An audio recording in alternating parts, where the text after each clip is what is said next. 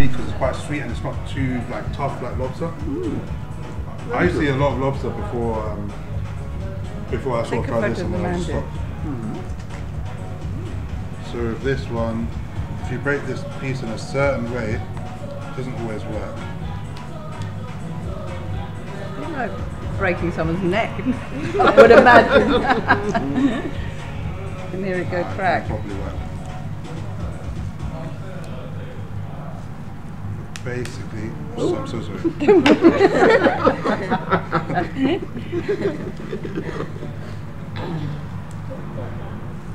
So if this one, the meat sort of like comes out in like chunks like this. So then if you, but that's what's Sorry about that. No, that's not-